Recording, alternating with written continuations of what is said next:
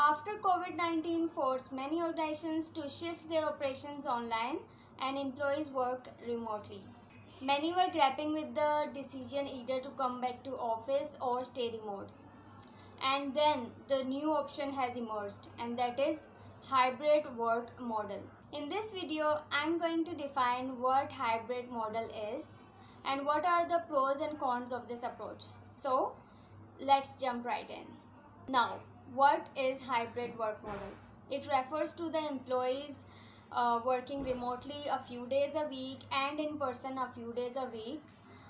It's an option that came into the spotlight after COVID 19 forced many offices to operate remotely. Later on, managers has realized that permanent remote work option is actually beneficial for their organization. Now let's take a look on some pros and cons of each and let's start with the pros. Number one benefit is flexibility for employees. With hybrid work model, employees can enjoy the best of two worlds including the ease of some days at home and face to face with employees and co-workers. But the cost. Fewer people in the office means fewer resources are used and it ultimately lower the cost of organization.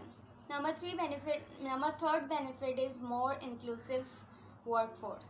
Hybrid work option can help organization to be more inclusive towards job candidates and the employees with disabilities. Now let's discuss the cons of this approach. Number one is scheduling challenges. Managers may struggle to balance the schedule of their direct report. Number two con is meeting spaces. With some staff working online and other in person, there are some logical challenges associated with hosting meeting at the office. Number third is increased manager responsibility. This includes which employee is coming on what days and how to maintain performance management uh, of employees working in the office and some in the some in person.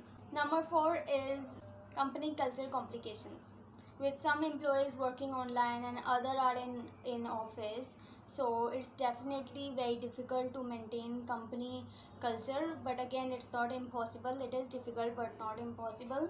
So that's all from today's video. I hope you like it and i hope you find it very helpful. I'll be back with another interesting and informative video uh, soon inshallah. So till then happy learning